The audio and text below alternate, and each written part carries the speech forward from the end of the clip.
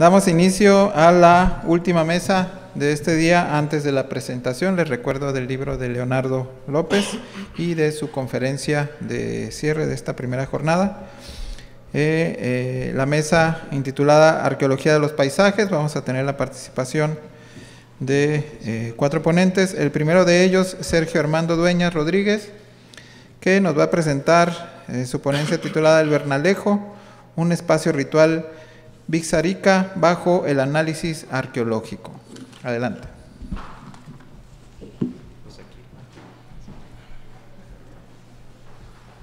¿Cómo? Perdón. Ah, como tú quieras. Bueno, bueno, bueno.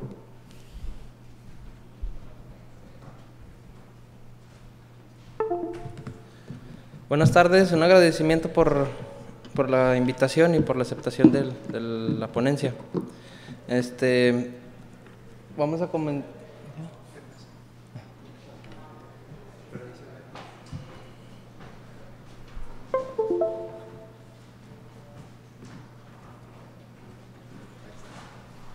Bueno, comenzaremos hablando un poco sobre lo que es el Bernalejo. El Bernalejo es un pequeño montículo de formación natural eh, con- conformado por rocas metamórficas que se a lo largo del que se esparcen a lo largo del desierto del Salado. Las características de este lugar es que cuenta con la presencia de ofrendas que son depositadas periódicamente por la cultura wixárika, o mejor conocidos como los huicholes. Eh, nosotros preferimos llamarle wixárika porque eh, el término huichol es, un, es una adaptación que hicieron los españoles al llegar aquí y es un poco despectivo, pero también haremos un- el uso de las dos palabras. Eh, la problemática que, que encontramos en, en- en este sitio es que además de que la cultura material del grupo étnico wixárika ha sido explotada desde, no ha sido un- explotada desde la dimensión arqueológica, pues esta cultura sigue activa en esta área de, de- de estudio y los usos, significados y funciones de sus ofrendas están vigentes y estas contienen un gran valor histórico y antropológico. Muchos se, cuestionan si un estudio de carácter arqueológico puede ser desarrollado en base a los materiales presentes en este lugar. Con el, este, se preguntan con qué fin se puede realizar un estudio arqueológico.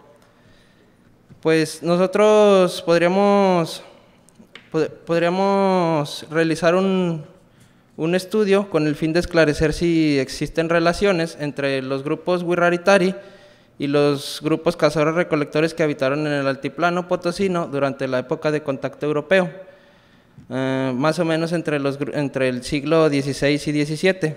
Esto partiendo de, de la concepción que los Wirráricas tienen sobre este lugar como el mundo de sus deidades o de los antepasados. Esta es una cita de, Ángel Gutiérrez, de un trabajo que realizó sobre la peregrinación a Wirikuta en el, 2000 en el 2002.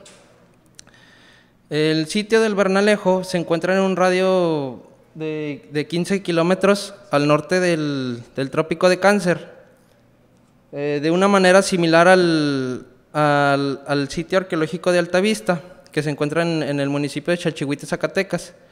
Si miramos desde un punto de vista arqueoastronómico, el sitio del Bernalejo pudo estar, eh, eh, bueno, pudo haberse en- encontrado en una posición idónea para contemplar el punto cenit del Sol los días 20 o 21 de, de julio de cada año, que, son, que es el sol- solsticio de verano. Eh, el trópico de Cáncer es el paralelo norte del planeta y este se ubica actualmente en la latitud 23, 23 grados 26 minutos con 16 segundos al norte del Ecuador y se está desplazando hacia el sur con un ritmo medio de 0,47 segundos por año. Hasta, hasta este punto eh, podemos realizar algunas interrogantes que han sido que han surgido más bien a través del, del desarrollo de, este tema. La primera es, es de qué manera contribuye el análisis espacial de un sitio sagrado, como el de la cultura mm, wixárika, para aproximarnos a una interpretación del pasado de culturas arqueológicas, como es el caso de grupos cazadores recolectores que habitaron en el, en el altiplano del desierto de San Luis Potosí. Una posible respuesta es que el análisis espacial podría permitirnos hacer una reconstrucción de estos sitios de grupos cazadores recolectores para la época de contacto europeo Debido a que la región es la misma, aunque la economía no sea exactamente igual, comparten modos de apropiación y prácticas religiosas o cotidianas intrínsecamente relacionadas o muy similares que nos permiten asociar a las culturas indígenas contemporáneas y arqueológicas, ya sea simbólica o ideológicamente. Además, otra interrogante que nos, que nos surge es que si puede la evidencia actual depositada en el Bernalejo contribuir a, reconocer algún tipo de artefactos que remitan a, tradiciones de grupos cazadores-recolectores, chichimecas. Creemos que, es probable que la evidencia material depositada en el Bernalejo brinde una inferencia sobre las relaciones que mantuvieron los grupos Huirrárica que, habitaron que habitan perdón, en los estados de Nayarit, Jalisco, Zacatecas y Durango, con grupos guachichiles cazadores-recolectores que habitaban en el altiplano potosino para la época de contacto europeo, mm, como los llamados chanales eh, y los bósalos o negritos, que eran identificados como grupos guachichiles. Mm, bueno, si, si nosotros aplicáramos la visión que Binford tiene sobre el pasado de sobre perdón, tiene sobre el análisis de lo estático y lo dinámico, donde la estática es lo que ya se inmerso en el pasado y la, y la dinámica es el presente, pues esta acción de recrear los movimientos de peregrinación y, y rituales que realizan los primeros jicareros se convierte en una representación dinámica de la estática, en donde lo estático se encuentra en la, en la primera peregrinación y lo dinámico está en la presentación, representación actual de, de esta.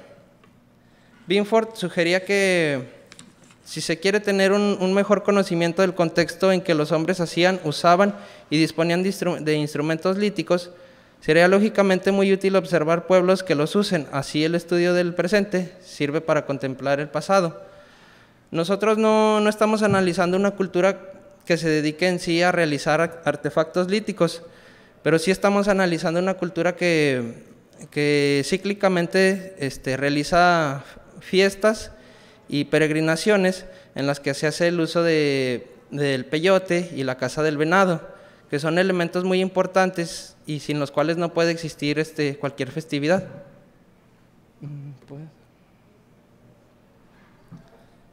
mm, bueno, las primeras crónicas de los, de los Wirráricas comenta Rojas que, que de los acompañantes de Nuño de Guzmán no hacía ninguna distinción entre, entre los grupos que encontraban en su camino al, este, al, al, momento en que los llamaban este, perdón, chichimecas.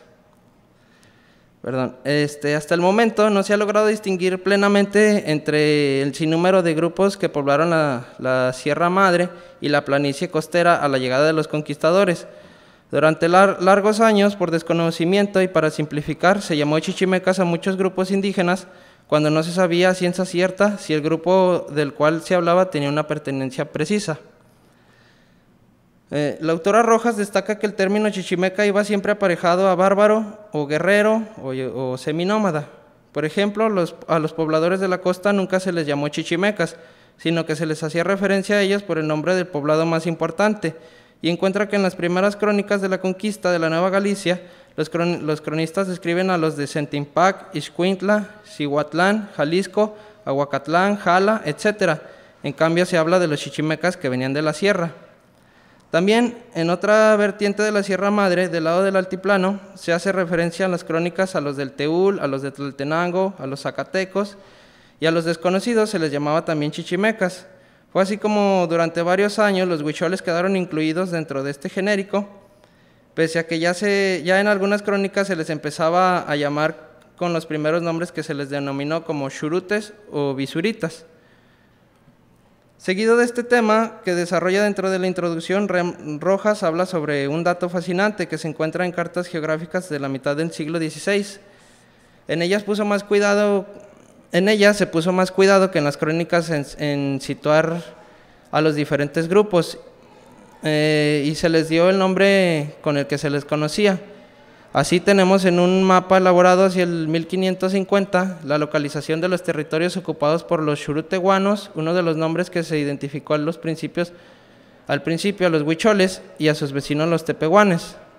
En la misma obra, este, la autora nos, hace la gran aportación que en el tetra, Teatrus Morbistearerum, Teatrus Visterrarum, de Abraham Ortelio se reprodujo un mapa de, del virreinato de la Nueva España en el que se puede encontrar sin dificultad la localización, esta vez ya separados de los churutes, los cuanos, los tepehuanos y los, los guachichiles, con más precisión. Lo que cabe destacar de, esta, de este mapa es que hay una gran cercanía entre los churutes, los cuanos, tepehuanes y guachichiles.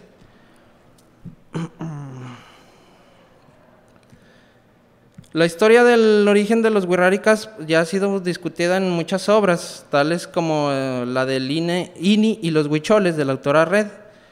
Ella comenta que los relatos realizados por Lumholtz este, mencionan que aunque los huicholes tienen cierta relación racial con los aztecas, pertenecen a las tribus que han continuado con en la barbarie, manteniéndose hasta el presente en sus inaccesibles montañas también afirma que de, acuerdo con sus tradiciones llegaron del sur, pero la, autora continúa indagando y mostrando otras fuentes que serían prácticamente la antítesis de las afirmaciones de Lumholtz, tales como la de Furs y, Mayhorp, quien ya comenzaban a tratar de relacionar a los, a con los huachichiles. Ellos fueron muy criticados por por, por Phil Weigand, debido a que eh, los trabajos que ellos realizaron fueron hechos con un, un, informante huichol que ya estaba fuera de su contexto. O sea, él ya, ya vivía en la ciudad de Guadalajara y tenía mucho tiempo de haber sido excluido de, de la cultura huichol o huirrárica. Eh, más bien, Weigand propone que que el trayecto actual del peyote puede ser un remanente de un sistema de intercambio en el cual el peyote no era sino uno de tantos productos de valor. Y sugiere que los grupos de peyoteros o jucuricates, mejor conocidos en su lengua, son fósiles sociales que descienden de grupos pochtecas, que estaban sumergidos en la región del occidente, dentro de la cual existió una gran circulación de bienes exóticos, productos de intercambio de, este gran territorio que implicó a múltiples sociedades y culturas.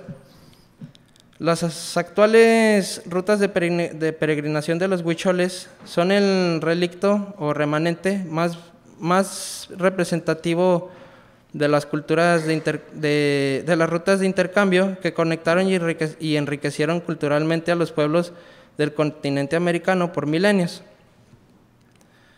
Mm, Conrad Theodor Preuss, en su, libro realizado em, en, el siglo, siglo XX, caracteriza a los wixárikas como indios de arco y flecha, quienes no obstante sufren una dependencia con respecto al maíz, que es comprado en el exterior e incluso requieren de emigrar en busca de trabajo hacia, hacia las haciendas de la costa pues la transmisión oral de saberes a lo largo de la ruta es trascendental para la pervivencia de la cultura huichola, ya que su lengua no tiene escritura. La ruta huichol por los sitios sagrados a Wirikuta eh, es un patrimonio cultural.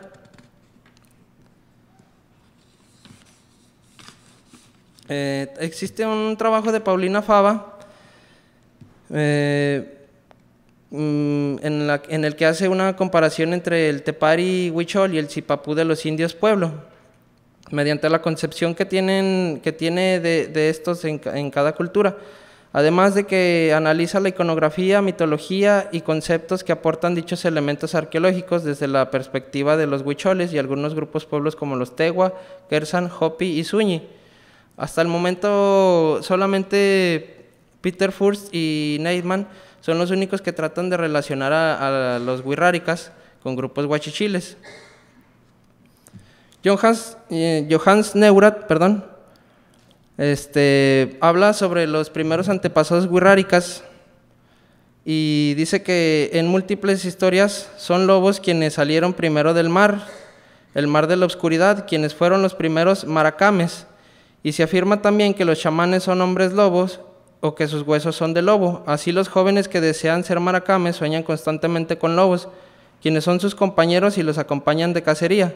También nos brindan como un gran dato etnográfico la creencia de que ciertos maracames, cuando mueren, se van a vivir con estos animales. Em, la relación que tienen los chamanes, perdón, los maracame con, con estos animales, los lobos, es muy importante debido a que este animal es un es de naturaleza social, eh, caza en manada y y, aparte se encuentra relacionado con, la noche, la oscuridad. Lo que pasa es que en las primeras historias de, los antepasados huicholes, muchos de, los primeros en salir del mar, pues fueron, fueron distintos, distintos animales, perdón, animales Mm, cazadores. Mm. Y se les relaciona más a, estos grupos, por ejemplo a los cánidos, porque son animales que a diferencia de los felinos, pues mantienen esa relación social, este, mantienen la misma fila y, el mismo tipo de cacería a la hora de, de realizar la caza del venado o la recolección del peyote. Mm, Neurat describe que las primeras lluvias nacen de las lágrimas de los cazadores y de las presas de vida que se tienen mutua lástima, y es por eso que el venado se entrega a los cazadores sin, no sin antes dejarles una importante enseñanza. También se ha relatado sobre las prácticas que de cacería de los huicholes acostumbran este, frotar dos huesos estriados de venado, que se describen como raspadores y con su ruido acompañan el canto de los cazadores con el fin de hacer caer al venado más pronto en la trampa. Al momento de cazar un venado, los, los grupos de, jucuricates llegan al, pueblo para, para compartir el venado. Pero lo que pasa es que se realiza un caldo de venado que es, nada, que es exclusivo de los, de los cazadores. Y este caldo de venado es realizado con agua que se recolecta en el desierto de Wirikuta. Es estrictamente eh, para cazadores y este no lleva ningún condimento, ni siquiera sal. Mm, existen otros tipos de caldos que, se consumen entre los wirráricas, pero estos no son, no, no tienen el mismo grado ceremonial. Lundholtz notó que los cazadores se presentan, que se presentan con un venado ante la comunidad este, también tienen la costumbre de cortar la carne en cuadritos para ensartarla en una cuerda que se cuelga con el fin de secarla y consumirse tiempo después, en festividades próximas. Este autor representa una magna obra sobre cualquier hecho que, haya podido presenciar o registrar a base de relatos por parte de Wirráricas, tanto así que, explica cada, detalle sobre el uso y significado que se le daba a cada artefacto, cotidiano y ritual, incluso sobre el doble uso que tienen dentro de la, cosmovisión de este pueblo. Por último, y para no hacer mm, más tiempo, quisiera mencionar una cita de, de Cecilia Chardain Prieto, quien en la revista Relaciones explica muy bien cómo la territorialidad es una manifestación de la construcción histórica de las identidades y que éstas se renuevan en contextos de conflicto, derivados de la violencia practicada sobre los grupos sociales, lo cual este, sustenta mm, algo que, proponía el, doctor Villegas, que también menciona que los huirráricas podrían provenir de grupos chichimecas que habitaron en el altiplano de San Luis Potosí, puesto que las sociedades nativas que quedan inmersas en el discurso de avance civilizatorio se vieron ante los ojos de los extranjeros como una curiosidad aberrante que representaban diversas empresas por controlar y transformar junto a sus territorios las características que, ofrecía lo que hoy es el, el noreste de México. Junto a los procesos de mestizaje racial, su trabajo indaga en otras variantes como los procesos de aculturación, adaptación, guerra, exterminio, control, evangelización, etc., vinculados de alguna manera a la noción de heterogenesis o reinvención cultural. Algunos grupos nativos totalmente distintos y a veces hasta enemigos se unieron con el único fin de refugiarse o pelear en contra del enemigo extranjero, saquear sus bienes con, lo que, con los que más tarde intercambiaban y establecían alianzas. Estas alianzas estaban sujetas a periodos coyunturales de paz o de guerra, antes de la, llegada de los invasores, pero después de esto surge una nueva territorialización que se, que se estructura en un, en un torno, en torno a una, a una nueva identidad que puede ser expresada con un cambio en las formas sociales de liderazgo. Por eso, grupos que se transformaban en aliados forzados dispuestos a dejar la, lengua, el territorio y la identidad en busca de la protección, generalmente provienen de culturas que han perdido sus guerreros compuestas de hombres viejos, mujeres y niños. Eso es todo hasta el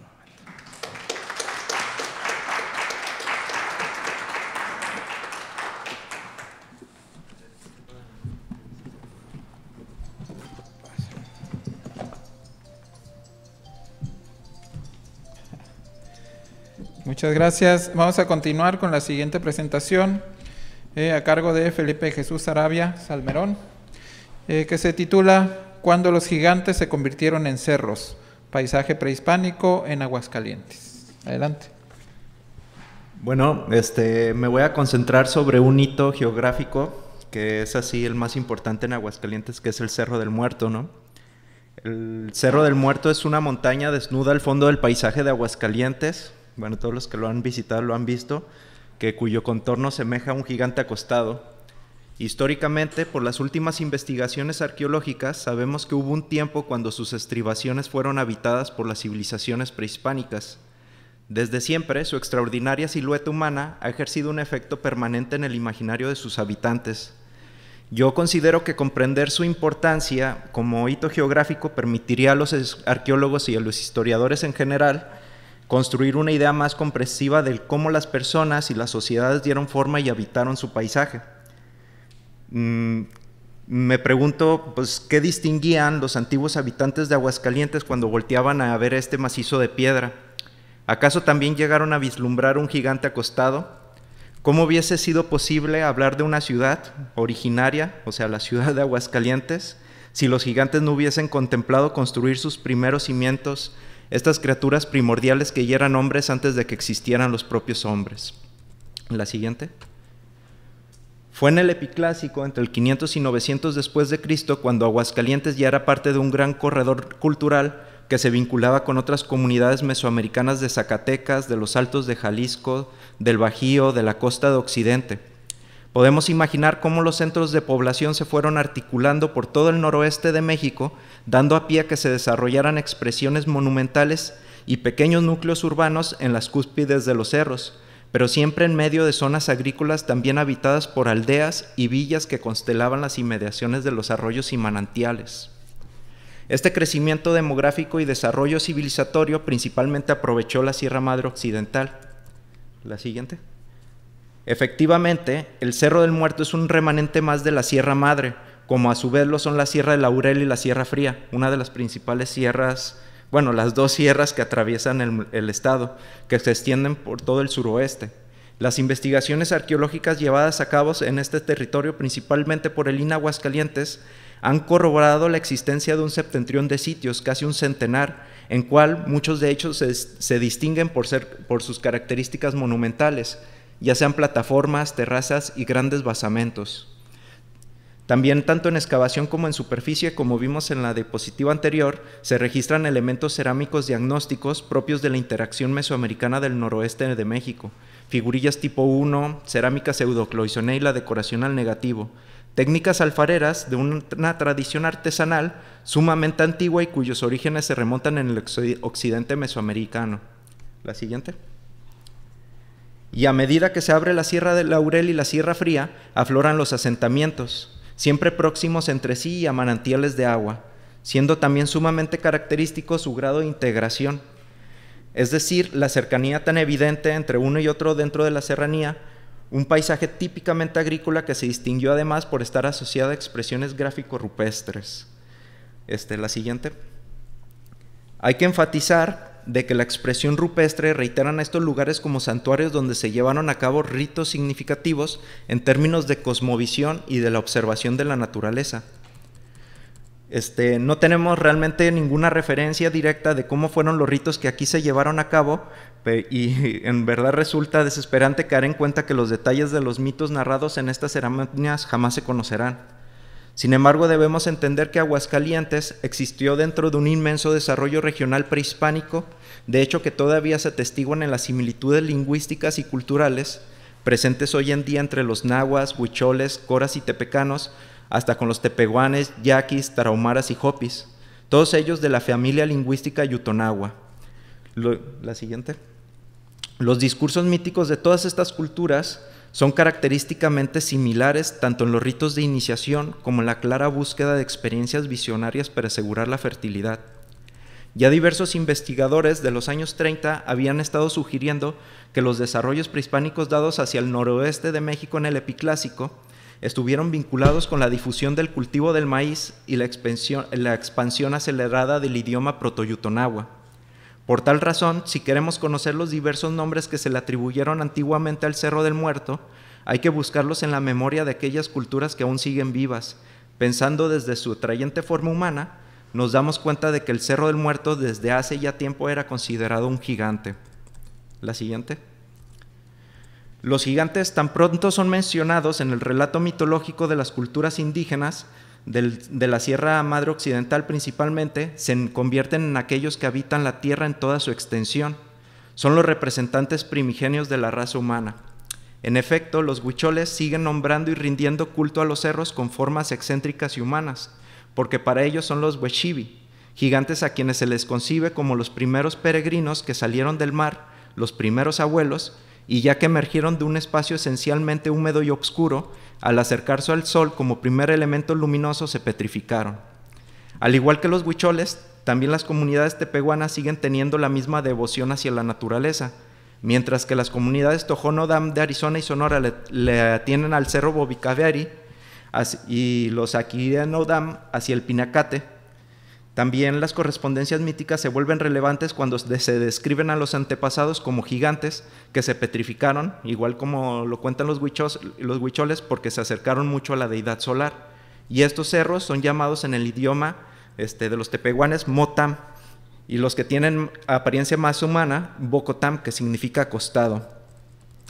Esta concepción común es una visión mitológica del mundo donde los indígenas representan su propia genealogía a partir de los cerros, ya que los fundamentos del género humano no reposan únicamente en el propio hombre, sino también en aquello férreo y vigoroso que funda el orden subsistente de la naturaleza.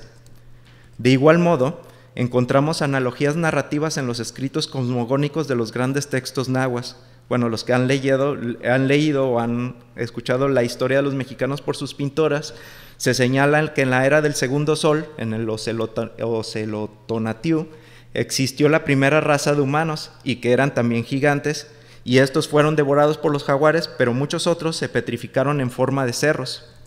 La raza de gigantes se, llamaron, se llamaba Kinametin. Entonces el sol no caminaba y cuando se oscureció, las gentes eran comidas por los jaguares.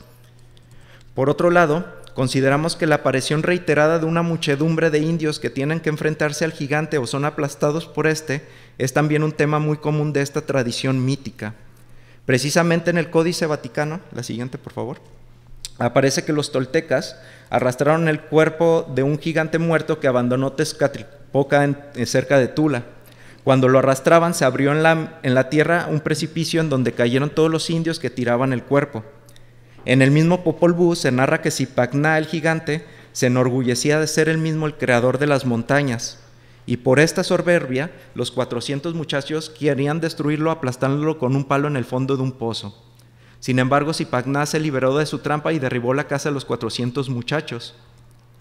Después, por consecuencia, los gemelos Unampu y vengarán la muerte de los 400 muchachos, dejando caer la punta de un cerro sobre la cabeza del gigante. Y ya no salió con vida Zipagná y se dice que se convirtió en piedra al pie del cerro Meabán. Tanto Zipagná, el gigante de las montañas, como, como su hermano Cabracán, gigante provocador de terremotos, juegan colosalmente a querar montañas y luego a volverlas a derribarlas.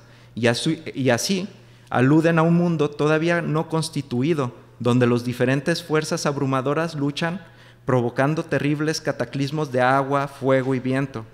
Los, dos, los dioses que presencian y los héroes que participan en esta historia incluyen al sol, los pájaros del trueno, el rayo, la abuela madre, o sea, la madre tierra, pues, y los astutos gemelos. Todos estos mitos nos hablan de razas enteras humanas que se habían extinguido en aniquiladoras catástrofes de naturaleza volcánica y diluviana. O sea, nos recuerda mucho a, pues esta, a estos eones que hablan los científicos, ¿no? De cómo se va creando la Tierra, ¿no? Debido a, profundos cambios cíclicos, ¿no?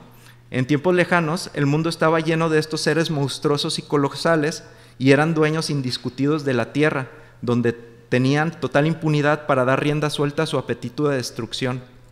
Estos eran monstruos formidables, de inconmensurables cuerpos. Revertían el mundo a un estado caótico, se desplomaban y la tierra se cuarteaba. Volvían todo al estado de desorden y por ello nada tenía forma en ese, en ese momento, ¿no? Son sometidos bajo una masa de la que no pueden salir y no pueden volver a la luz. Siempre los gigantes, si se fijan en todos las narraciones mitológicas, terminan por caer al suelo porque los pequeños héroes arrojaban sobre ellos una montaña de peñascos bajo la cual ya no podían liberarse nunca más. Los paralelismos entre todos estos textos, rara vez utilizados en la arqueología regional, nos permiten configurar un término de referencias desde el imaginario indígena para acercarnos a los nombres que pudo haber tenido el Cerro del Muerto. ¿Qué encontramos en la historia que se cuenta o no se cuenta de los lugares? Bueno, con este análisis podemos asegurar que el Cerro del Muerto en sus diferentes niveles históricos siempre fue considerado como un gigante, en este caso por las poblaciones mesoamericanas del epiclásico. Como ya vimos, Aguascalientes no se mantuvo ausente de los procesos culturales de la época prehispánica. Finalmente todos los presentes venideros seguirían asistiendo a su perfecta forma humana y a la profundidad de su espectáculo. En la actualidad, dichosamente transitamos por la ciudad y por las calles que todos caminan. Sin embargo, algo nos sigue diciendo a todos los habitantes que seguimos en Aguascalientes que ese cerro no es de piedra. Siempre hemos intuido que es la creación de la mente de alguien, moldeada y colocada por el trabajo de alguien. Alguien le dio una inquietante forma humana que se siguió renovando en la geografía a cada instante del espectáculo cotidiano. Casi parece hablarnos, como ven. Más allá del límite, de sus límites, se encuentran sus sueños, sus dolorosos y, delirantes sueños. Quizás es que nunca existió una ciudad llamada Aguascalientes. En medio solo hubo un valle vacío, ya que el Cerro del Muerto realmente no pertenece a esta época ni a la siguiente. Es un gigante que pertenece a una realidad continua donde no existe el tiempo. Pertenece al sueño de las piedras. Bueno, muchas gracias.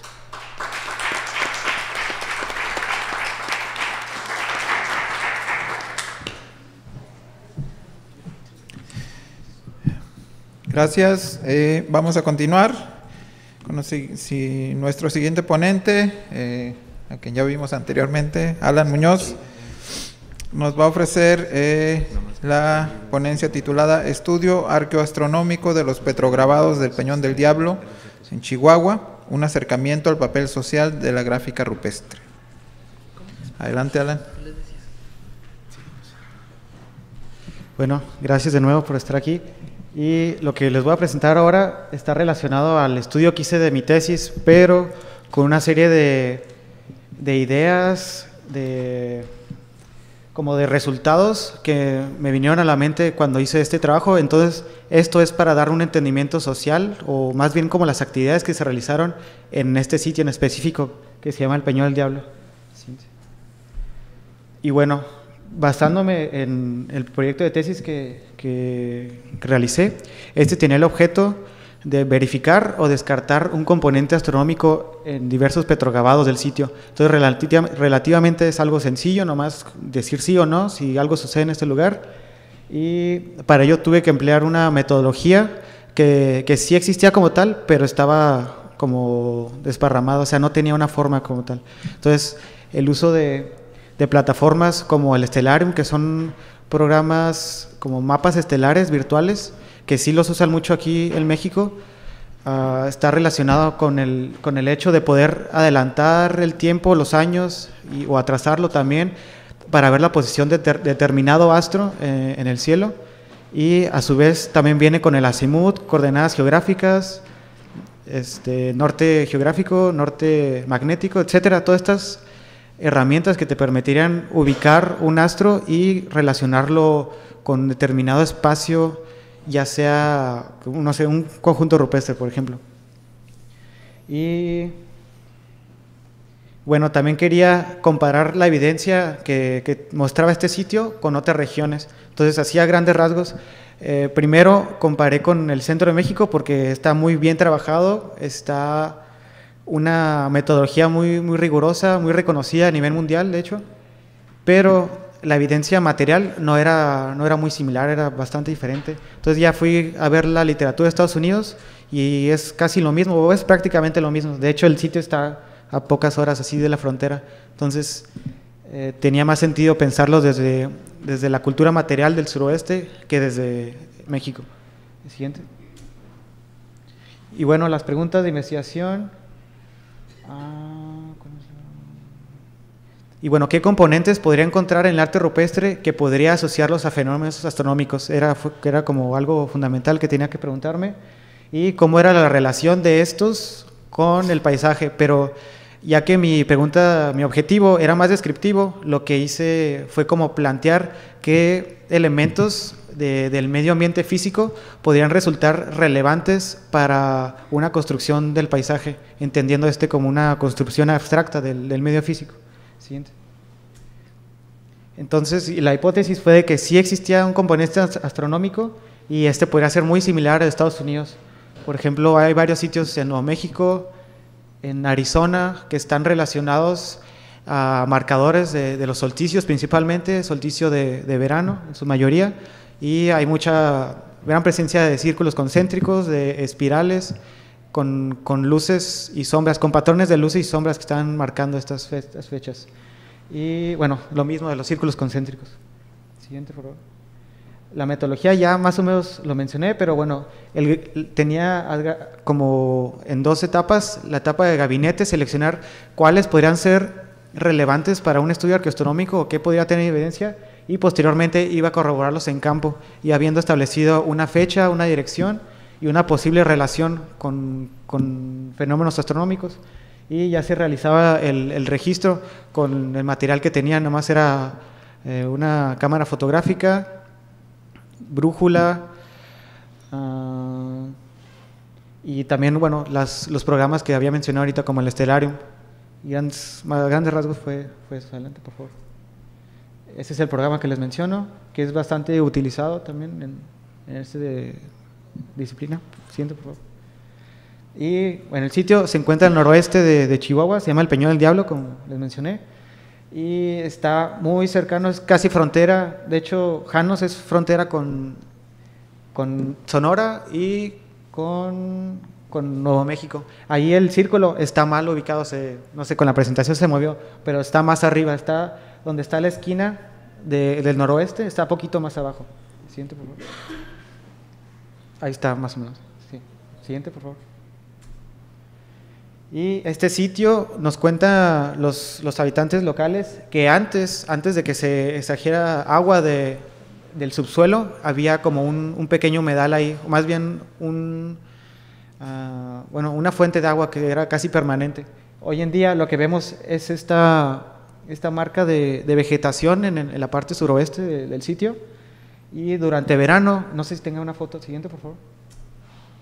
Uh, siguiente. Sí, hay un gran contraste cuando hay lluvia y cuando no lo hay, cuando son las temporadas secas. Sí, eh, empiezan a llegar muchos animales, gran, gran este, porcentaje de, de plantas también que no aparecían. En sí es un, un cambio muy drástico en estas dos fechas. Siguiente, por favor. Y bueno, los materiales, se, supone, se propone que este sitio es habitado durante el periodo arcaico, ya que está en la región Casas Grandes. Y por lo general en los sitios Casas Grandes hay gran cantidad de cerámicas, hay mucha, mucha cerámica del periodo medio principalmente, pero en este caso no hay, no hay tiestos cerámicos y hay muchas puntas como la tortuga, como otros indicadores del periodo arcaico. Y también hay, bueno, hay pocos, bueno, un par de decenas de, herramientas de molienda, en su mayoría manos de metate, a 210, 220 morteros fijos alrededor. O sea, para un lugar muy pequeño sí son, son bastantes. Y se tienen alrededor de 600 petrograbados contando los puntos y las líneas. O sea, sí son eh, muchos para un lugar pequeño, pero en realidad no todos son conjuntos, no todos son grandes, sino son 79 que se registraron en total. Siguiente, por favor. Y la muestra seleccionada, a ver, siguiente. Bueno, no viene. Pero bueno, los sitios que seleccionaron fueron como alrededor de 11 eh, conjuntos previamente identificados para, para hacer una, un registro arqueoastronómico y ver si existía una, una evidencia de este tipo. Y al final se identificaron alrededor de seis, más o menos. Este es el, el panel 1 que se encuentra en el extremo eh, sureste del sitio. Siguiente, por favor. Y ahí, bueno, me voy rápido porque en realidad esto no es lo que, lo que me voy a centrar en la presentación. En sí, bueno, lo que vemos es una serie de, de momentos donde se proyectan luces y sombras que son representativos de, los solsticios. Siguiente, por favor. Este es en el siguiente, en el solsticio de verano y se proyecta una, un pequeño triángulo de luz. Siguiente, por favor. En, una, en un cono se denomina cúpula o también le dicen positas. A estos grabados en, en las rocas son un pequeño círculo. Se puede hacer una serie de analogías con Zipapú, con, hay, hay muchos tipos de, de pensamientos simbólicos alrededor de, de, este tipo de elementos. Siguiente. Eh, otro elemento interesante, de hecho este, de aquí partí para hacer la, la investigación y ahí íbamos con otro profe y me comentó, sí, está orientado a los puntos cardinales, está al norte, quién sabe qué, y ahí hice mi, mi tesis, hice todo, y luego fui, saqué la brújula y no estaba orientado. Y fue como que, ah, hice todo por eso. Pero después me di cuenta que sí tenía algo relacionado, pero es casi evidente, o sea, nos, nosotros podemos ver que hay una figura humana en, la parte superior que está sobre una, una línea horizontal con varias líneas verticales, que muchas veces se interpreta como líneas de conteos en, en, arqueología. Entonces vemos que su mano, la mano derecha, está unida a, este, a esta línea y en la parte inferior vemos una serie de círculos concéntricos y líneas que están en, a manera de cruz. Siguiente, por favor. Y este, ya, ya viéndolo posteriormente, está relacionado a, a, las direcciones donde se pone y donde sale el sol en los solsticios, que son estos extremos a manera de cruz. Vemos que hay un indicador en, en el extremo de, que sería el verano, en el bueno, sí, en, el, en, la pequeña posita vemos con un indicador de verano. Y uh, la anterior, por favor. Y la, la, que está de este lado, vemos, eh, bueno, se, se, aprecia un poco aquí, pero más bien esta parece ser un indicador de, del, de la puesta del sol durante el solsticio de invierno que está marcado, bueno, no tengo ahí apuntado, pero es más o menos esta parte. Es una serie de líneas en zigzag con puntos y líneas que están como en dirección hacia donde se pone el sol en el solsticio de invierno. Siguiente, por favor. Y está la covacha. Ya cuando les comenté eso, que yo no sabía qué hacer con la tesis, le, dije a Víctor, eh, si, si, realmente eh, una, un haz de luz ilumina el petrogrado de la covacha, ¿podría ser algo astronómico? Y ya como para tranquilizarme, yo creo, me dijo, sí, yo, pues, yo creo sí. Y iba muchas veces a este sitio, prácticamente me la viví un año más ahí, y es este lugar que está enseguida del que les describí anteriormente, en realidad es una, una pequeña covacha que está, ese, ese muro que ven ahí, dicen los pobladores que no estaba antes, que, que la misma gente de ahí fue, es como algo reciente, no tiene sedimentos, entonces no es como una unidad habitacional, sino eso fue posterior. Entonces, siguiente, por favor. Hay un petrogabado que es, como, no sé, una mezcla de geométrico, no estoy seguro si podría ser considerado como antropomorfo, pero es el único petrogabado que está localizado en, este, en esta covacha. Y bueno, ahí, ve- ahí vemos en los números, las, las direcciones, son los puntos donde, donde se ve el sol salir. Siguiente, por favor. Y se ve en el solsticio de verano que un haz de luz toca, toca el- como el círculo de, de este petrogabado. Y es como curioso porque es el único petrogabado en este sitio y no tiene otra relación ni en invierno ni en equinoccio. Y estuve ahí mucho tiempo observando, así que esto no es como producto del azar. Siguiente, por favor.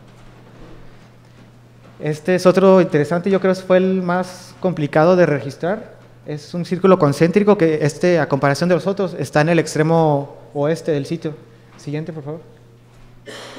Y este está enfrente de unas rocas que, que están como a manera de grieta y cuando se oculta el sol se proyecta una serie de sombras en todo el año, pero esta luz va cambiando de forma. Siguiente. Entonces, ese mismo cuadro lo vimos en el extremo derecho. Entonces, eh, era muy curioso ver como un cuadro y ver el círculo concéntrico del mismo tamaño y ver cómo esta relación. Entonces, se observó mucho este, durante varios, varias semanas seguido. Y este no solamente se ve de esta manera, sino que a, la izquierda hay una serie de puntos que están como, como en zigzag. Y cuando se va ocultando el sol, alrededor, unas semanas antes, creo que, bueno, a inicios de abril, se ve como la, sombra va, va tocando todos los, los líneas, las líneas de, puntos y se va poniendo en este, en ese círculo. Siguiente, por favor. Y es interesante, yo pensé que estaba relacionado a algún solsticio y no lo estaba, algún equinoccio tampoco, ni tampoco como un equinoccio de, de periodos muy tempranos, como lo podría ser, no sé, hace 5.000 años donde no tenía la misma posición el Sol. Entonces me la pasé ahí observando y curiosamente esa relación de- del cuadro de luz fue cuando, cuando se ocultó en este, en este cerro que aún no recorremos. Se hizo un recorrido por parte de la Escuela de Antropología e Historia del Norte de México, pero no, no, está algo lejos y no, no llegamos ahí, no se reconoció arqueológicamente, pero pues sería interesante ver si hay algo arqueológico en ese lugar. Siguiente. Eh, bueno, ya irme rápido, este es otro, igual patrones de círculos concéntricos. El de abajo en verano está lleno de serpientes, entonces es, a veces es un poquito complicado eso. Pero bueno, son dos círculos concéntricos que, siguiente por favor. Bueno, ya está ahí. Es una, el, o sea, tomé ese círculo concéntrico porque se veía como si hubiera un camino hacia este otro conjunto en la parte alta de- del, del- del cerro y hay un círculo, no se aprecia mucho, pero es un círculo concéntrico, o a ver si en la siguiente sale bien. No, Eh, es un círculo concéntrico y tiene otro pequeño círculo eh, en la parte inferior izquierda. Entonces es como la dirección en donde está el sol y va avanzando y en el círculo concéntrico entonces se observa el sol saliendo en, en esta, en esta roca. Siguiente, por favor. Y bueno, con lo que eh, observé hasta ahora es que, bueno, a mi parecer sí existe una relación astronómica, ya que no es parte de- del azar, porque ahí estuve todo el año haciendo observaciones y no, no sucedió en cualquier fecha esto, sino que solo en fechas específicas. Y este es similar al suroeste debido a los motivos rupestres. Am, existe un patrón del círculo concéntrico, aunque yo no digo que este sea un símbolo relacionado al Sol, sino que es un símbolo que, están, que estaban utilizando para hacer una relación para, bueno, marcadores astronómicos, pero puede tener otros significados. Más bien es como algo que podría ser útil si no conoces nada sobre un sitio y quieres como adentrarte a ver qué sucede. O sea, mínimo como en el caso del noroeste de México, revisar los círculos concéntricos y su relación sombras, luz y sombras y direcciones a, a fechas como los solsticios, lo que podría ser como útil. Y bueno, sí, otra vez estos fenómenos de luz y sombra. Y solamente se dio un caso en que hubo una relación de la puesta del sol con un marcador astronómico. Y esto, bueno, yo pienso que está relacionado porque es el único cerro que está en la parte, o sea, en el movimiento que tiene el sol de extremo norte, extremo sur de los solsticios, no hay otro cerro cercano donde se oculte el sol. Posiblemente si hubiera otro cerro, hubieran marcado también la fecha donde se oculta ese cerro, pero era el único ese, entonces podría suponerse que es, que es porque es el único que se presta para hacer un, un, marcador de ese tipo. Siguiente, por favor. Entonces, a partir de esto me, me generaron una serie de, de, ideas para entender un poco este sitio. Entonces, vemos que de entrada los sitios, lo, bueno, los conjuntos que, son, que fueron utilizados para un registro astronómico, para registrar fechas en específico, se encuentran en los extremos noreste y suroeste, que, o sea, no está orientado naturalmente a los a este oeste del cerro. Entonces están utilizando los extremos más cercanos para observar o registrar la salida del sol o la puesta del sol. Y esto con fines para marcar fechas en específico. Y también algo muy importante de este sitio es, entender el humedal. El papel de este cuerpo de agua pudo ser muy relevante no solo en aspectos de, recursos, sino también en aspectos simbólicos. Eh, la relación que pudo haber tenido eh, mitológicamente o simbológicamente este, este humedal. Y otra cosa es que el componente astronómico no no representa el sitio. No, este sitio no es como astronómico, sino que se ven otras distintas funciones. En el extremo suroeste, donde se encuentra el humedal, es donde hay una mayor cantidad de, conjuntos rupestres, como el del superior derecho, ese es el que se denomina diablito por los locales. Entonces, este, este conjunto está al lado de, otros, de otras paredes que están repletas de petrograbados a comparación de otros lugares. Entonces se ve que existe una gran cantidad de, motivos rupestres en el suroeste, donde además están los, los morteros fijos, hay muchos morteros fijos en la parte alta y baja del cerro, y también se tiene, bueno, está el humedal, el arte rupestre y los morteros fijos en el extremo suroeste. Entonces esta parte parece ser muy importante en el sitio, no solamente lo astronómico. Y otra cosa también es que no se registraron unidades habitacionales como tal, o sea, no, no vimos mucha cantidad, por ejemplo, de alineamientos de piedras o de elementos que nos permitieran decir que había gente viviendo ahí, pero encontramos gran cantidad de materiales y esos materiales nos dicen que hay, hay mucha gente, hubo mucha gente viviendo en este espacio, pero al parecer no eran unidades habitacionales, la gente no vivía en ese lugar. Bueno, es lo que pienso, pueden haber otras, otras ideas. Entonces, lo que se entiende de este sitio es que es un sitio estacional, no es parte de, la vivienda de la gente, sino era un sitio donde se juntaban en, temporadas específicas del año para realizar X actividades.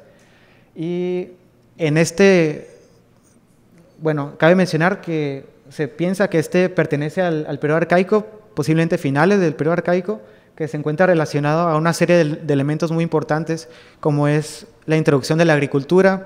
Está el cerro Juanaqueña ahí muy cerca, prácticamente puedes caminar y en menos de un día llegas ahí, en un par de horas. Y, o sea, son una serie de elementos que son, ya, que bueno, hacen compleja esta, esta región.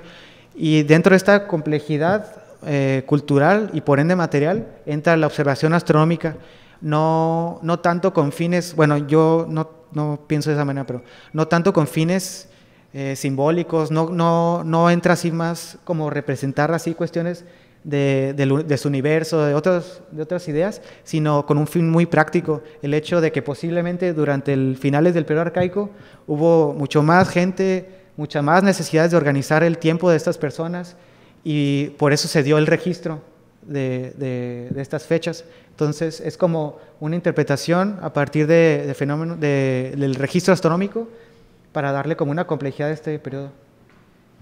Bueno, sí, nomás como última cosa, está el Cerro Juanaqueña y está, nomás atrás, por favor, está ese sitio y muchos pensaron de que podía estar relacionado al solsticio de, verano, pero no tiene nada que ver con Cerro Juanaqueña, astronómicamente no hay ningún marcador y no hay relación clara sobre, esta, sobre estos dos sitios.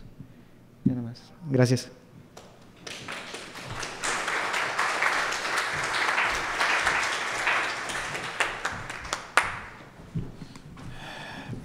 Gracias, Alan.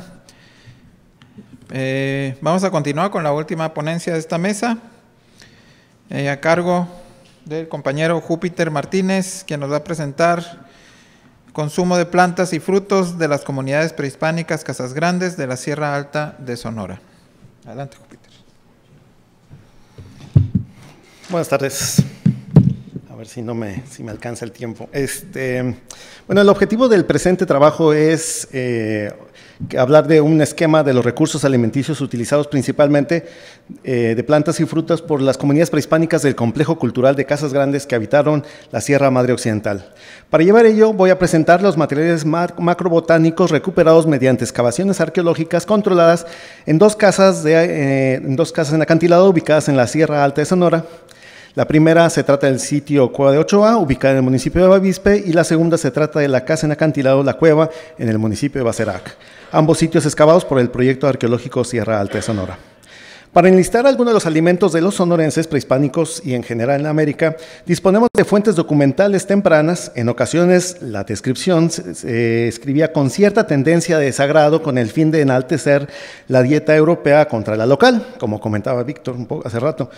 Y para obtener una imagen más clara disponemos de la paleobotánica, cuyo principal enemigo es la degradación natural de los alimentos. Durante las investigaciones arqueológicas siempre se trabaja con la esperanza de encontrar alimento quemado, que se preserva al estar carbonizado, y se trata de deducir el uso de plantas con el análisis de polen microscópico o indagar la huella química en los recipientes utilizados para la contención o preparación de alimentos entre las estrategias más utilizadas. Existe otra condición que nos permite conocer más sobre el aprovechamiento de plantas y se trata de contextos que están expuestos a condiciones climáticas de baja humedad y temperatura estable, característica que se observan dentro de una importante cantidad de cuevas del norte de México. Las condiciones mencionadas permiten la deshidratación de una gran cantidad de materiales orgánicos, em, de diversa índole y permiten su eventual preservación. En el caso particular que presento en este, en este coloquio, las condiciones se ven potenciadas por la presencia de arquitectura de tierra que incrementa las condiciones de aislamiento térmico y la incidencia de luz solar. Por lo tanto, qué mejor que hablar sobre la alimentación como una muestra directa de la adaptación humana a su entorno ecológico, aunque hay que incluir también la transformación cultural y el aprovechamiento del entorno como otra estrategia humana para su supervivencia. Esta presentación observaremos gráficamente la dieta de los antiguos pobladores de Sonora. Expresados en otras palabras, este trabajo será un breve viaje a conocer algunos alimentos de los antiguos sonorenses de la Alta Sierra de Sonora. La que sigue. Para aquellos que no conocen el término coprolito, según el diccionario de la Real Academia Española, es excremento fósil. O sea, aquí lo que vemos, no, no, no, el anterior, lo que observamos aquí es el resultado de la dieta, el desarrollo del alimento, literalmente. Eh, como datos complementarios, este coprolito fue localizado directamente sobre el piso de un cuarto de la cueva Ochoa, construida después del año 900 después de Cristo. La que sigue.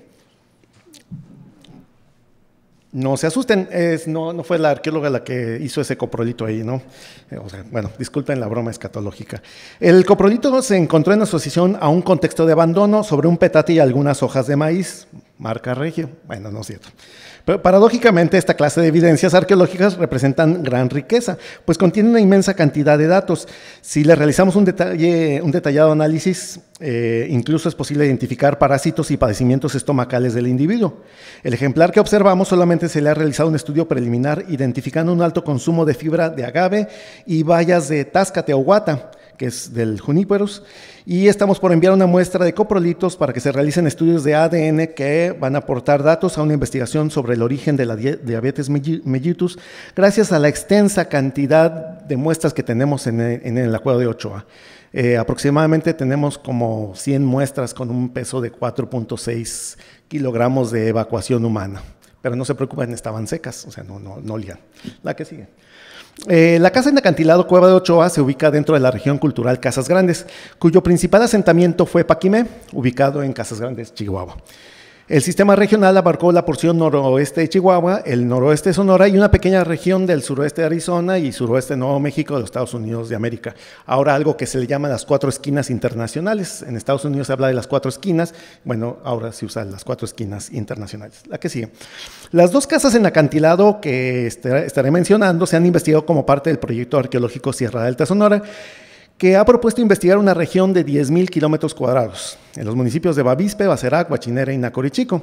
La, la vegetación predominante de la zona se caracteriza por bosques de encino pino con matorral bajo, abundante fauna y agua permanente, aunque en las inmediaciones del río Bavispe observamos vegetación baja, una selva baja caducifolia y el clima es semiseco con lluvias en, en verano y sobre todo inviernos extremos, o sea, las nevadas a veces son muy fuertes. La que sigue. El objetivo general del proyecto es realizar una investigación integral de las comunidades serranas arqueológicas, las que teóricamente se definen por la asociación de diversas evidencias arqueológicas como son las aldeas o los sitios abiertos, las zonas de terrazas agrícolas, las casas en cueva, casas en acantilado, cuevas con pintura, petroglifos, incluso cimas de cerros terraceados, entre otras variantes posibles. Cada uno de los elementos constitutivos de la comunidad adquiere sentido dentro de las dinámicas sociales y culturales internas, conformando una red de interrelaciones a distintos niveles de la dinámica humana. La que sigue. Las dos comunidades arqueológicas que presento, el lote de Sonora eh, y con el sitio Cueva de Ochoa, eh, se ubican en, esta vertiente occidental de la Sierra Madre eh, y están más o menos separadas unos 20 kilómetros una de la otra y más o menos 75 kilómetros de Paquime, lo cual es como un día y medio caminando para en esos tiempos. ¿no? Eh, el lote de Sonora está compuesto por un conjunto de ocho sitios, mientras que el Rancho de la Cueva presenta seis sitios arqueológicos y ambas, comunidades pues, eh, son parte de esta subregión eh, del sistema regional Casas Grandes, que, cuyo desarrollo máximo, para que veamos en tiempo, estamos hablando del 1200 al 1450 después de Cristo, que es lo que se llama el periodo medio de Paquime, o el clásico del, del noroeste, suroeste de los Estados Unidos. La que sigue. Una casa en acantilado o casa en cueva es un tipo de sitio arqueológico caracterizado por la presencia de cuartos de adobe o mampostería al interior de una cueva o respaldo natural. Esta manifestación cultural se distribuye ampliamente por el noroeste de México y el suroeste de los Estados Unidos, donde pues les llaman los cliff dwellings, que es como casa en un, en un barranco, literalmente. En algún momento de la historia de la investigación eh, se intentaron estudiar en lo individual, pero resulta claro que debemos de entender estos sitios en su contexto de comunidad. De otra manera se reproduce el concepto de que las, estas cuevas, eh, casas en acantilados, son asentamientos aislados, como pareciera actualmente cuando se habla del turismo de los sitios de Cueva de la Olla o 40 casas como si fueran asentamientos aislados, pero en realidad son parte de estas comunidades. ¿no? Ahorita lo vemos, lo que decía Gamboa, que bueno, ahí, ahí están las zonas de, de, cultivo que vamos a ver ahorita en este caso. La que sigue. El sitio Cueva Ochoa es el más complejo registrado a la fecha en Sonora. Eh, presenta cuartos de una amplia diversidad de técnicas de arquitectura de tierra al interior y el exterior de la cueva. Tenemos terrazas en el arroyo eh, y que pues como muchos de estos sitios tienen, cuando llueve se forman cascadas justo ahí donde están las cuevas. Eh, y al interior hemos registrado por lo menos 20 cuartos en el primer nivel, lo que sigue, y algunas habitaciones llegaron a tener hasta tres niveles y en total pues estamos hablando de un asentamiento que llegó hasta tener entre 40 y 50 cuartos. Ah, chispas, ya se cerró esto. La que sigue. Eh, el sitio se encuentra muy deteriorado tanto por la destrucción natural, los colapsos de las estructuras, como por el saqueo y destrucción intencional. Pero al igual que la mayoría de las casas en acantilado, en la superficie se observa una gran cantidad de olotes, indicio que estos grupos eran evidentemente agrícolas. Excavamos dos áreas distintas donde logramos exponer tres cuartos. Eh, entre las ruinas eh, solamente se observó la existencia de un pequeño granero. Eh, sin embargo, eh, 400, 400, metros al sur hay otra casa en acantilado que sí tenía este granero. Y estos elementos son importantes porque están relacionados con el control de excedentes de producción y redistribución del maíz. Eh, de acuerdo a los datos bioantropológicos que recuperamos de los individuos de las cuevas, encontramos que realmente había escasez de alimento y mala nutrición contrario a lo que muchas veces se ha pensado. La que sigue. Por el otro lado, el sitio de la cueva se ubica en un área delimitada por una alta pared rocosa y no es visible al exterior, es decir, está en un lugar como escondido. Eh, y es, por lo tanto, tiene como un espacio restringido, eh, que tiene unas implicaciones en términos de la creación del espacio. Eh, ahí encontramos por lo menos 11 cuartos construidos con arquitectura de tierra y el sitio, pues todos están saqueados, pero sobre todo este, esta cueva fue utilizada como corral por lo menos entre 100 o 150 años, que fue el que principalmente destruyó el sitio. ¿no? y bueno, también cuando llueve se hace una cascada justamente por ahí, que tiene que ver también en términos de la selección de estos espacios. La que sigue, eh, el sitio de la cueva, eh, excavamos una, un área donde encontramos pues, un patio interno, una rampa, un cuarto cuadrado y hemos estado excavando por dos años un cuarto de planta circular que por lo menos nos requiere otra temporada. No está por demás señalar que la excavación de ambas casas en acantilado ha requerido de un trabajo complejo en términos del registro mismo y de la recuperación de los materiales arqueológicos, principalmente por los de origen orgánico que son exageradamente abundantes. La que sigue, en la primera temporada, eh, recuperamos la base del anular del granero y que valga mencionar, bueno, los graneros son, no son de adobe, son de paja y, lodo, ¿no? para tener una temperatura y controlar la preservación del maíz en el pasado. La que sigue, ¿Cuáles son los componentes que hemos observado en estas comunidades prehispánicos en torno a la producción y recolección de alimento? En el caso del lote, lote de Sonora resulta ejemplar en torno a la alta densidad de terrazas construidas, sobre todo en los arroyos existentes, aunque es justo mencionar que casi no existe terreno apto para el cultivo, por lo tanto se vieron la necesidad de transformar su propio espacio. Eh, la que sigue, en esta comunidad encontramos, bueno, casas en acantilado hacia la parte de las montañas, o se utilizaron los respaldos, y la que sigue en la parte más planta, pues tenemos los sitios abiertos en términos de la distribución del espacio, donde las, los asentamientos son de arquitectura tipo pueblo, es decir, que son conjuntos habitacionales de tierra donde todos están hechos bola y entre cuartitos muy compactos. La que sigue. La presencia de las terrazas o trincheras, que se les dice también en la región serrana, es un fenómeno que se ha investigado desde los años 60. Eh, su interpretación es que es una estrategia para generar terrenos cultivables. Una definición más precisa sería que son muros de retención de suelo que evitan la erosión, generan suelo, forman superficies planas y cuando han sido construidas sobre un cauce se convierten en un sistema de autorregadío que aprovecha y controla el agua de lluvia, sistema que sigue siendo aprovechado, bueno, ya no tanto, pero antes se usaba para sembrar mota y era muy efectivo ¿no? en toda la sierra. La que sigue. Ahora, bueno, sembran amapola. Bueno, la presencia de terra... Eh, bueno, en la comunidad Lote de Sonora eh, hicimos este muestra... Ah, la anterior, perdón. Eh, ahí tuvimos que revisar estas 200, un muestreo y mostramos hasta 246, 250 terrazas, donde la estadística nos marcó que en promedio, más grande o más menos, es que las terrazas pues tenían medio metro de altura, 9 metros de ancho y 11 metros de longitud, que generó un espacio cultivable de 14 hectáreas. Eh, cuando en realidad el espacio utilizado para vivir fue de 2 hectáreas, es decir, el, 85% del terreno logrado se utilizaba para sembrar. La que sigue, a diferencia ahora sí de, de, la comunidad del rancho de la cueva, pues es que este está en un bajío, lo cual son como 16 hectáreas de terreno plano, que donde están también los arroyos permanentes permite la irrigación y por lo tanto, este, pues ahora sí que tenían solucionado. Curiosamente, en términos de proporción de terreno cultivable con las casas es similar en, términos de la cantidad de lo que ocupan los tres asentamientos, la que sigue. Y lo de las casas en acantilado, es decir, hay un concepto de la construcción del espacio en este terreno donde las casas en acantilado son como parte de este sistema. Bueno, la que sigue. Volvamos al tema principal de este trabajo. Eh, pero requiero hablar de qué son pues, datos preliminares. Eh, la que sigue. Sobre todo porque hemos tenido un problema en términos de los muestreos, que es algo que no está ampliamente discutido en México que es la pregunta, ¿cuánto hay que recuperar de una muestra macrobotánica? Normalmente ha sido, pues como no son comunes, son cosas preservadas que tienen más de mil años, maíces, pues se recupera el 100%. Y el problema fue que cuando excavábamos, pues literalmente eran laboratorios de, cribado más que de excavar. Entonces, eh, pues teníamos un, problema ahí técnico. La que sigue, entonces lo que hicimos fue llevarnos la fracción pesada a Hermosillo y finalmente nos llevamos casi una tonelada y media que bajo las condiciones del laboratorio se convirtió peor, porque entonces lo que no veíamos en, la, en en campo, pues ahora sí lo veíamos y entonces ya llevamos dos años trabajando con esta fracción pesada que ya no nos faltan 400 kilos, o sea, ya, ya mero acabamos. Eh, pero bueno, ahí ese es como el parte del proceso de, ver todas estas evidencias, que es una locura. La que sigue. Eh, bueno, eh, ¿qué comían?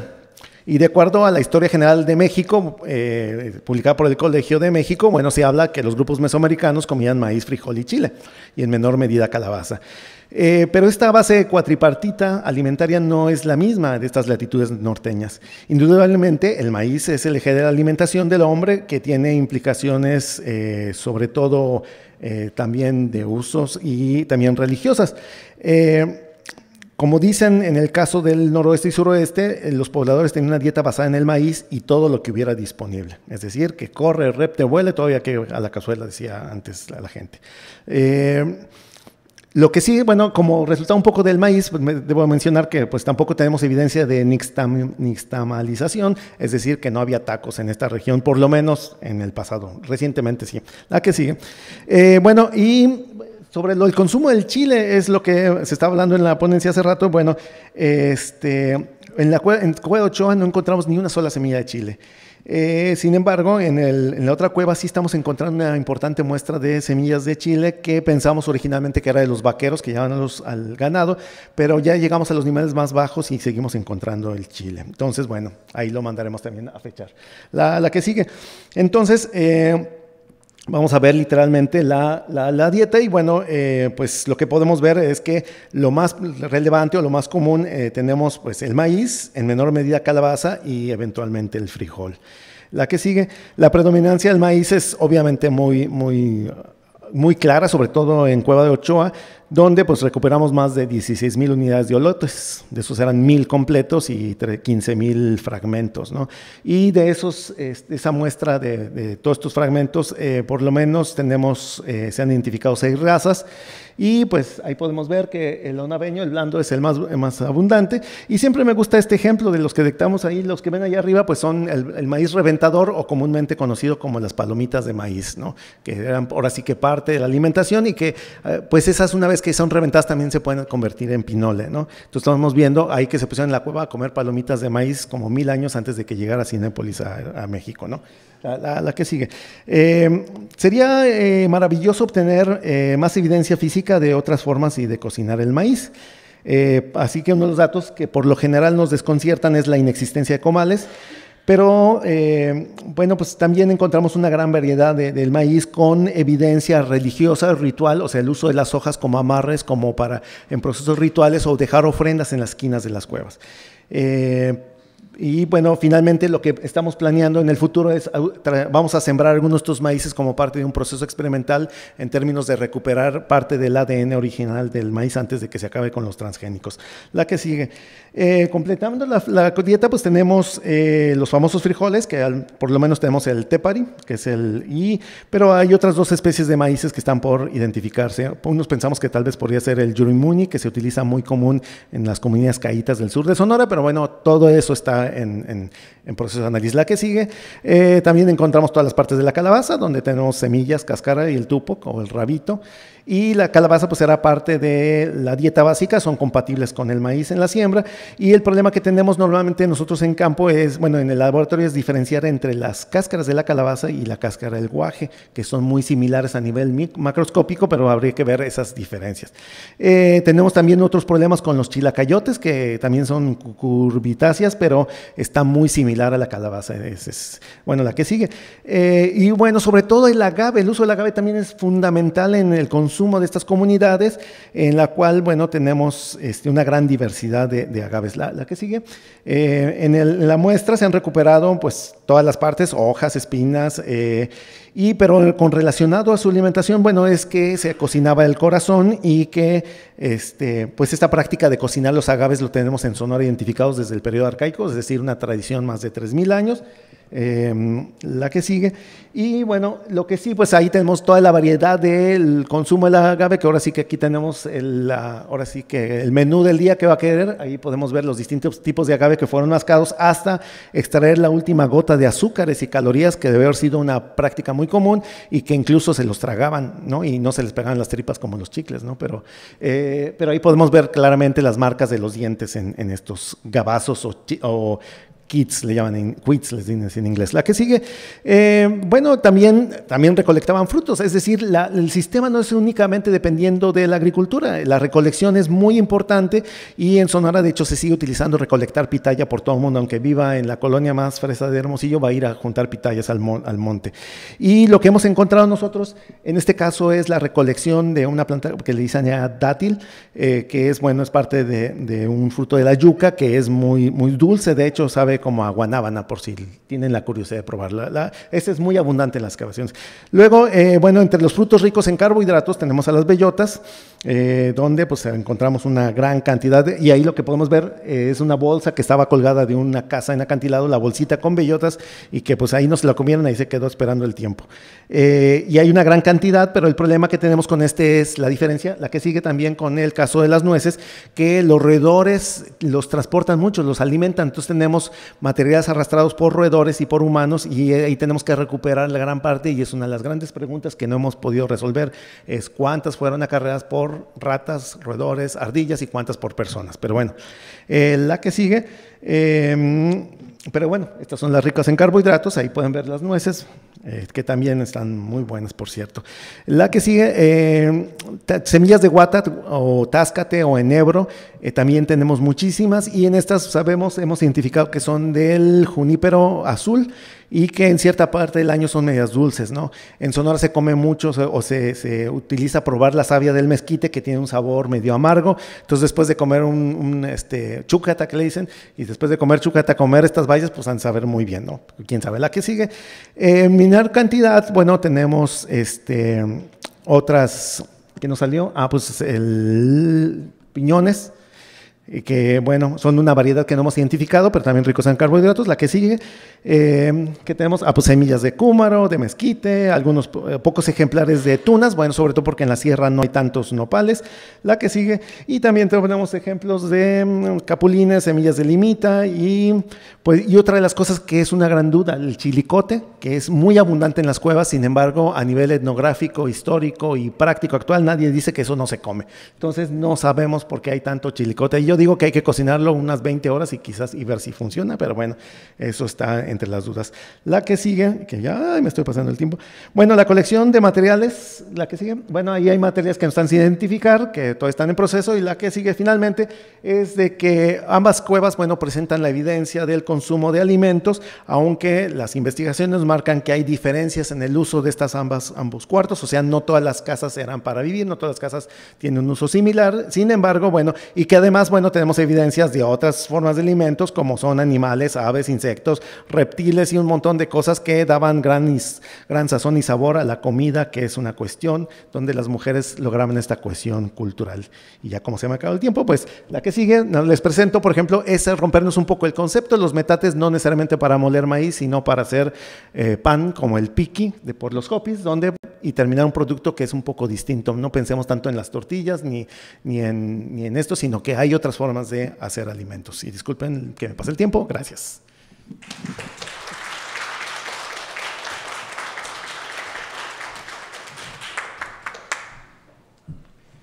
Muchas gracias a Júpiter. Tuvo una revelación que no comieran tacos de carne asada en esas cuevas, ¿eh? no eran sonorenses. Eh, bueno, eh, tenemos unos minutos para comentarios, eh, preguntas eh, que quieran hacerle a los ponentes. Si no, yo sí tengo un par. Eh, no sé, en las cuevas, una, bueno, para Júpiter y otra para Felipe. Eh, en, estas cuevas se han encontrado restos humanos o se les han podido hacer análisis sobre salud y nutrición y ese tipo de cosas y no sé, compararlos con estas, con estas muestras, tanto que se, que se han obtenido. Y en el otro caso, no sé también si eh, te ha dado oportunidad de hacer alguna comparación nos- con otros elementos eh, arqueológicos como rupestre, ¿no? En ese sentido, porque muchas veces estas, estas mitologías también se expresan en- dentro del rupestre, ¿no?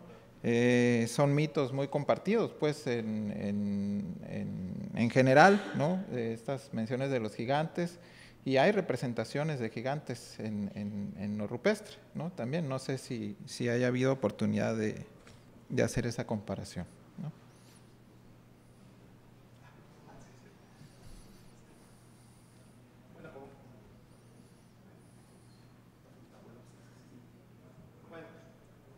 No importa, eh, como comentaba, las cuevas son ricas en conservación de materiales de todo tipo, no solamente en alimentos, y la cantidad de, de restos humanos momificados eh, Bueno, en estas nada más hemos recuperado un poco porque realmente hemos eh, roto el piso en, en, muy pocos metros cuadrados, pero donde hemos roto el piso hemos localizado momias. Eh, actualmente la muestra de una de las cuevas son cinco momias y ya al escáner de 3D y uno de los resultados interesantes es de que tenemos muchos niños, hay bebés y el crecimiento, las rayas de crecimiento entre, los bebés están muy marcados en los huesos y esto ha concluido la antropóloga física que es resultado de problemas de alimentación. Es decir, que a pesar de que vieran en cuevas y que hubiera sistemas agrícolas, en realidad sí sufrían mucha hambre. Eso es la, la... Eh, actualmente estamos trabajando en otra colección de otra cueva que es más bien funeraria, está más al sur, donde se recuperaron unos 15 individuos momificados también. Y también lo metimos este, a, los escáneres y los resultados son iguales en términos de que hay eh, mucha desnutrición. Aunque paradójicamente tenemos en una de las cuevas una viejita de mayor literalmente es una, un gancho en términos, y las, los, este, ¿cómo se llama este? En la parte del, el, ¿ladera? La cadera, bueno, literalmente la cadera está plana, ¿no? De, la edad que tiene esta mujer. Entonces, eh, pues sí, sí, digo, hay, eh, tenemos un repositorio, construimos un repositorio para la conservación de materiales orgánicos eh, con, con el trabajo de la mina, donde se sacaron parte de estos, estos individuos momificados y ahí realmente metimos casi todo el material orgánico que tenemos de estas cuevas, donde hacíamos el cálculo y quizás sean unos 5 años, 10 años de hacer la curaduría y estudio detallado de toda esta información. Entonces, es, nuevamente, como insisto, es una locura trabajar estos sitios, tanto para excavar como para la cantidad de materiales que, que haces. ¿no? Es, es, es, bueno, Siempre me revienta un poco la cabeza pensar en esto. Y en, tenemos una cueva donde hay un, un motivo, de hecho, una, una, espiral en una pared plana, que no le hemos hecho el estudio, pero este, creo que ahí hay como, que lo que le iba a preguntar las orientaciones, pero sí vemos que en las tardes le pega el sol en esta, es una espiral así grande y creemos que tiene un sentido este, arqueastronómico. Y nada más le iba a preguntar qué, qué había que medir. Bueno, la verdad yo no conocía así una, un dato donde se real, así digan exactamente que hay una representación de gigantes. La verdad estaría chido que te pasaras ese dato. Sin embargo, en las narraciones este, birráricas, se dice, cuando van a la peregrinación a Viricuta, este, y las, este, las expresiones rupestres, sobre todo los petrograbados asociados a, a, los sitios geosimbólicos de esta peregrinación, los mismos huicholes dicen que estas marcas, o sea, las, las pinturas rupestres las ven como marcas que fueron hechas por estos gigantes, por estos peregrinos, los llamados Weshibi, o sea, los eh, Weshibi significa, bueno, viene una etimología del guarache, ¿no? O sea, los, los peregrinos, ¿no? Entonces, como eran peregrinos que salieron en un mundo todavía húmedo y no constituido, este, van dejando marcas como si estuvieran dejando las huellas en las rocas y ya cuando se secan las rocas, este, forman las pinturas rupestres, ¿no? Entonces están asociadas las pinturas rupestres en la cosmovisión este, birrárica eh, con, la, con pues, esta peregrinación primigenia que hicieron los primeros gigantes. Eh, los, toda la pintura rupestre, mucha de la pintura, de la temática de la pintura rupestre en el noroeste de México tiene una, un, un, una línea narrativa muy, muy concisa, ¿no? Y entonces encontramos personajes este, muy, este, este, muy comunes y muy establecidos. Ya se, haya, ya se ha hablado mucho del flautista, se, eh, bueno, puse la, el, ejemplo de, un, de una parte de una también está representado en el Tepozán una peregrinación, pero también hay representaciones de perritos, de venados, bueno, no exactamente de venados, sino antropomorfos con cornamenta de venados, ¿no?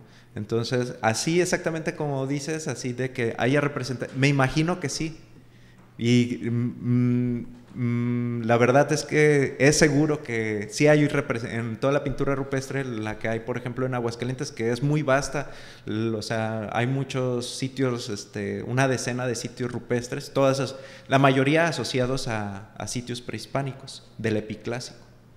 Pero sí, ahí tienen una narración muy, muy, este, muy común. Sí pues son como mitos. Eh muy semejantes muchas veces. Ahorita me acordé de la, la isla de la giganta que está acá en el Golfo de California. Ah, ¿no? sí. Ajá. Este, que es un mito de una mujer gigante que gobernaba toda esa región. ¿no? Y Sí. también los, los gigantes y Toy, el gran hermano, ¿no? De Y los sí. y todo esto, ¿no? Sí. Eh, nada más para precisar, Júpiter, te referías a las líneas de Harris en los huesos y a la hipoplasia dental, ¿no? Me imagino también en los, en los niños, ¿no?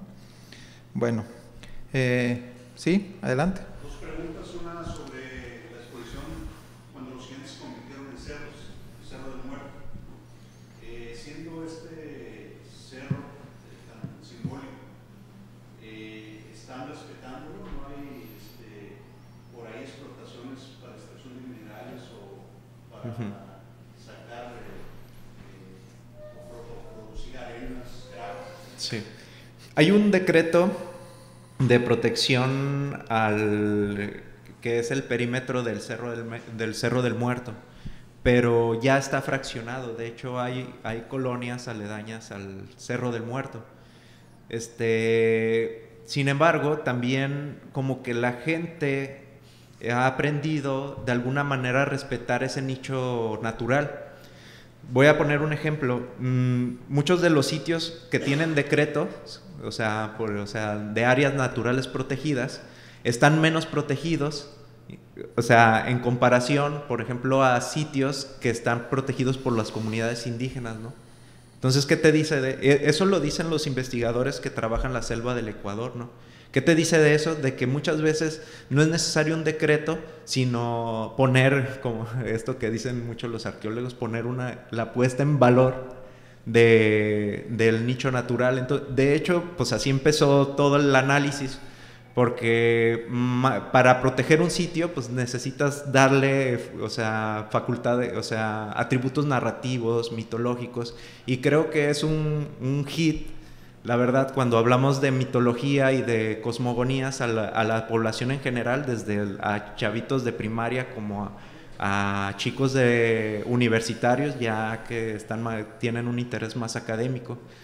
Mm, La, la mitología, bueno, la interpretación y todo lo que tiene que ver con la divulgación muchas veces es marginal a la, a la investigación, pero yo creo que es la arqueología siempre tiene que hacer responder preguntas sencillas, ¿no? ¿Quiénes estuvieron aquí? ¿Qué era lo que veían cuando veían el Cerro del Muerto, ¿no? Entonces, sí, no hay realmente un decreto y sí hay una depredación total. De hecho, la- la- las, las comunidades, este, ¿cómo se diría? mm, botánicas, no me acuerdo cómo se dice, pero ya son plantas terciarias, secundarias, ¿no? Ya es el... Y hay un biólogo, un amigo biólogo, dice que incluso hay este, residuos de incluso de que pudo haber existido este, ¿cómo se dice? Mm, bosque de bosque de niebla, o sea, y que no necesariamente fue que- se extinguió con la llegada del mundo europeo, bueno, del contacto europeo. Incluso pudo haber sido por la misma depredación de las comunidades indígenas que empezaron a hacer este, este, mm, ocupación en ese lugar. Pero, pues, no, o sea, todavía se conservan ahí. Yo cuando fui me tocó ver en, en las pies del Cerro del Muerto tres venados, ¿no? Tres venados todavía, ¿no? Y bueno, Sí, Gustavo.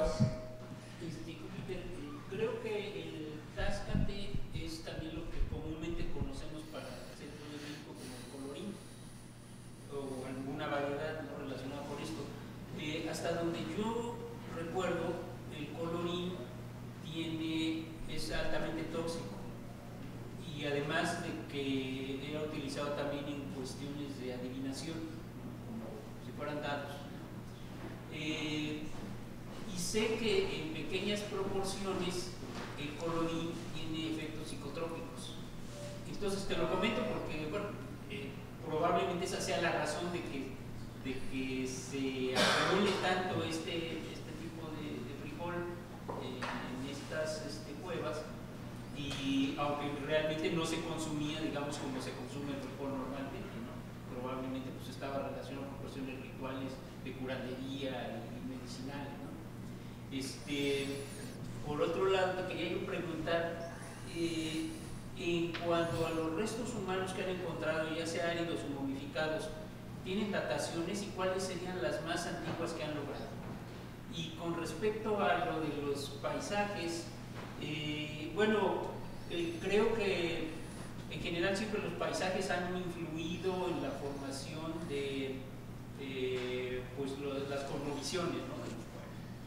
Eh, me llamó mucho la atención lo de los, los gigantes, eh, porque bueno, pues se relaciona por ejemplo con el caso de la mujer dormida, ¿no? finalmente pues, ve la silueta y pues, surge todo un mito alrededor de eso. Y hay muchos mitos sobre gigantes este, en diferentes partes de México. Eh, y, pero me vino a la mente que en el caso de, eh, digamos, ya relacionado con la pintura rupestre, si mal no recuerdo, si no me equivoco, si no corríjanme por favor, este, en la cueva de las monas está la representación justamente de un gigante, ¿no? Eh, está rodeado además de, de personajitos de liliputienses, ¿no? y que hace alusión a un mito, ¿no? Entonces este, sería, digamos, como una de esas representaciones eh, rupestres que sí están, digamos, más o menos identificadas con un mito que subsiste en, en las comunidades eh, indígenas de la región y que podría tener, digamos, cierta relación con esto. Pero te quería comentar también que en el caso de la Huasteca, por ejemplo, este, está el mito de que eh, la Tierra es un lagarto que está flotando en el Sotlején, que es el mar. Entonces, pues esto, digamos, tiene poca lógica hasta que uno va recorriendo el paisaje, caminándolo, ¿no? Y te vas dando cuenta cuando estás viendo a, nivel del horizonte las lagunas, las montañas que se insertan y los cerros que se insertan sobre las lagunas parecen los lomos de, un lagarto, ¿no? Y entonces probablemente de ahí es de donde surge el mito. O sea, si tú lo ves a cierta distancia, pues parece un lagarto flotando sobre una laguna y quizás de ahí es de donde venga ese, mito. Te lo comento pues como un dato de referencia.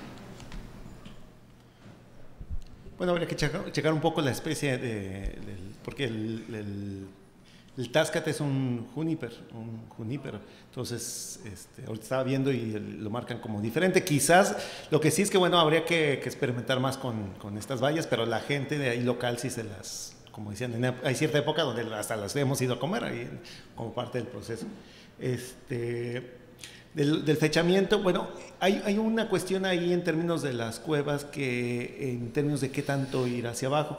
En una de las cuevas sí sondeamos hasta el nivel de, de roca madre y los fechamientos nos dieron el periodo viejo de Paquime, que estamos hablando en 900. De hecho, fechamos la construcción de la casa y nos dio una de las varas y nos dio oh, 905 más o menos, más o menos 50. Este, entonces, bueno, el, como las cuevas son muy, muy alteradas, o sea, aunque sea en época prehispánica hay mucha remoción, venía la pregunta esto, como lo que sucedió en, en- en Chihuahua, donde están encontrando maíces muy tempranos. Hubo proyectos en Sonora de buscar el, el origen y se excavaron algunas cuevas de Sonora hasta Roca Madre y los fechamientos, bueno, eran en ese entonces por correlación cerámica y también les dieron eh, cuestiones muy, muy tardías eh, en la cueva esta de, de la cueva, nosotros eh, llegamos al piso y bajamos un poco y seguimos encontrando capas de paja y de, de maíces. Entonces no quisimos hacer un sondeo, sino quisimos liberar todo, pero para eso ampliamos la excavación y ya nos encontramos estos cuartos circulares y ya nos estamos metidos en ese hoyo que no hemos podido pasar de ahí. Pero sí queremos sondear hasta el fondo de la cueva como para encontrar toda la secuencia de ocupación eh, esperando que durante la construcción de la misma casa en acantilado no haya sido tan perturbada como fue el caso de la otra Cueva Ochoa, donde llegamos hasta el final y lo que encontramos es que la gente preparó los rellenos, niveló los cuartos y entonces sí hay una perturbación de ocupaciones del 3000 o del, pues literalmente los casas grandes llegaron y se los echaron y nivelaron el. Entonces existe esa posibilidad.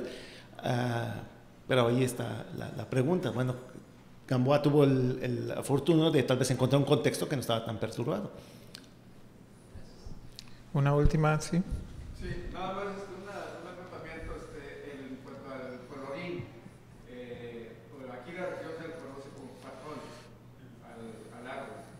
Este, hay refer- referencias eh, pues, muy recientes de 2017 de Medina González, investigador de, de- de la Universidad de Texas, que hasta la actualidad los apaches nipanes lo rituales. Eh, y, y ellos dicen que anteriormente usaban, eh, o sus ancestros usaban el, el colorín y el peyote casi con las mismas, eh, con la misma finalidad dentro de los rituales que ellos tienen, ¿verdad? Este, por los efectos pues, psicotrópicos que ya conocemos. ¿verdad? Entonces, es un, es un elemento que, que sigue vigente eh, en las etnias del norte de México, eh, entre los apaches lipanes, y, y, por ejemplo los, los wixárikas eh, sí lo conocen y, y todo, pero ya ellos no lo usan con fines rituales, sino que básicamente usan, el, el, como sabemos, el, el peyote.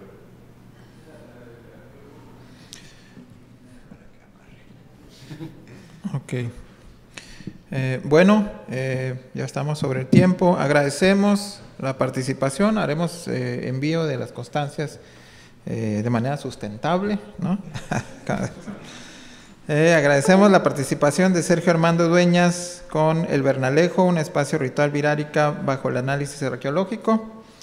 De Felipe Jesús Arabia Salmerón, cuando los gigantes se convirtieron en cerros, paisaje prehispánico en Aguascalientes de Alan Muñoz Muñoz, con estudio arqueoastronómico de los petrograbados del Peñón del Diablo, Chihuahua, un acercamiento al papel social de la gráfica rupestre, y de Júpiter Martínez, con consumo de plantas y frutos de las comunidades prehispánicas Casas Grandes de la Sierra Alta de Sonora. Muchísimas gracias.